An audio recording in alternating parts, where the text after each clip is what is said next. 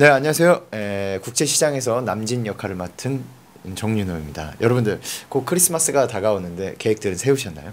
어, 제가 크리스마스를 더욱더 따뜻하게 보낼 수 있는 팁을 하나를 어, 알려드리고 싶은데 그건 바로요. 어, 사랑하는 사람이랑 손을 꼭 붙잡고 국제시장을 보는 겁니다. 영화 보시고 나면 어, 여러분 옆에 있는 사람이 더욱더 소중하게 느껴질 거라고 자부하는데요. 아무튼 뭐 막 기다리지 마시고 어, 싸게 애매하는 게 좋을 것 같은데요. 어, 저도 뭐 여러분들과 같이 옆에 딱 있으면 기분 좋아질 것 같은데 아무튼 메리 크리스마스입니다. 예.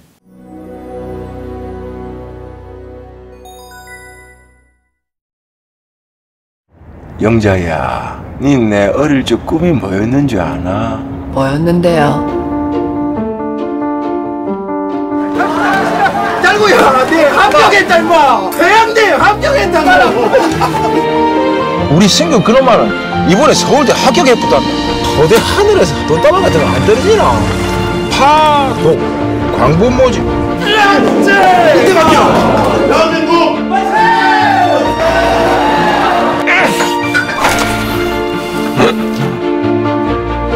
뭐 가난했겠죠. 그래서 새가 빠지게 번 돈 싹 다 한국으로 부채시키고 동네 사람들 형님 뭐 오락하는 줄 압니까? 부모 형님 잘못 만나갖고 학교도 제대로 못 다니고 1년 360을 뼈 빠지게 일만 한다고 승기야 크스나.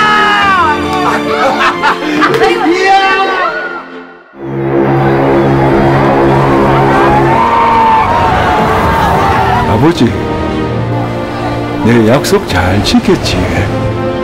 이만하면 내 잘 살았지. 근데 내 진짜 힘들었거든요.